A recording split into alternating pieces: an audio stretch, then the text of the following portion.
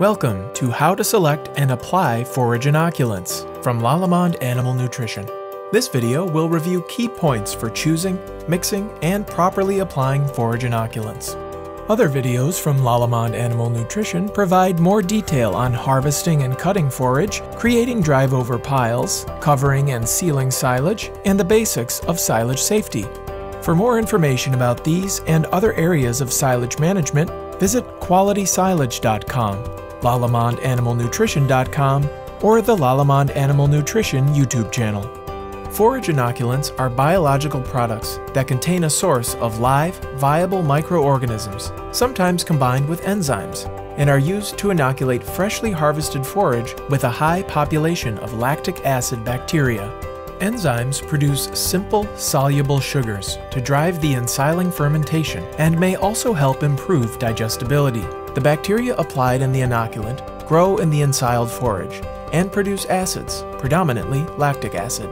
This converts the fresh forage from a near neutral pH into an acidic and stable product, silage. Forage inoculants are used for four primary reasons to stimulate or ensure a rapid fermentation, to prevent bad fermentations, to maximize dry matter and nutrient retention, and to inhibit aerobic deterioration forage inoculants should be proven to deliver the benefits claimed. Make sure the inoculants you are considering are validated by independent research trial data and are fully supported by registration bodies in local territories. High quality inoculants will contain unique, specific strains of bacteria identified by a culture collection number. Make sure that the research data is also linked to the specific strains in the product. Products that contain Lactobacillus buchneri 40788 can help improve aerobic stability.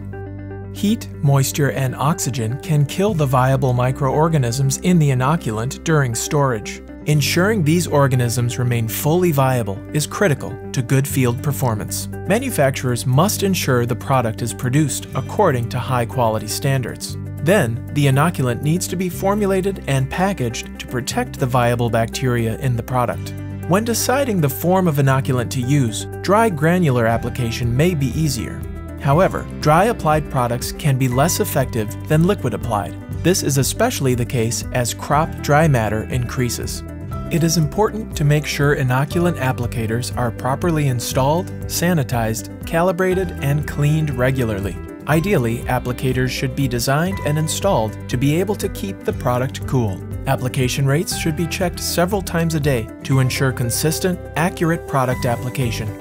Proper location of the application point is critical for even distribution of the inoculant to reduce variability in the quality of finished silage. Products are best applied at the chopper box, feed rollers, or at the accelerator on the harvester.